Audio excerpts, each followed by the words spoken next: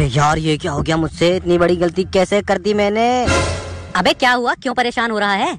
भाई कल रात मैंने दुआ मांगी कि मेरे घर की सभी परेशानी दूर हो। अबे तो इसमें परेशान होने वाली क्या बात है? तो अच्छी बात है ना? अबे अब मुझे डर लग रहा है ना? कहीं मैं टपक न जाऊँ।